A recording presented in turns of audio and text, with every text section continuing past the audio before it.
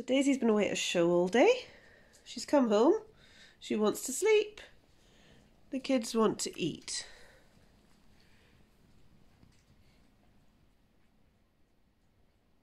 I think her face says it all. Daisy.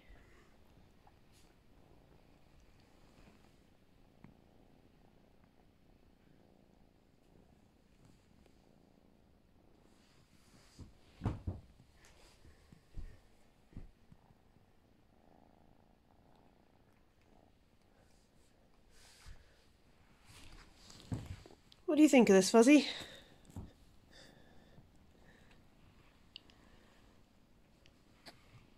Fuzzy is a little bit horrified.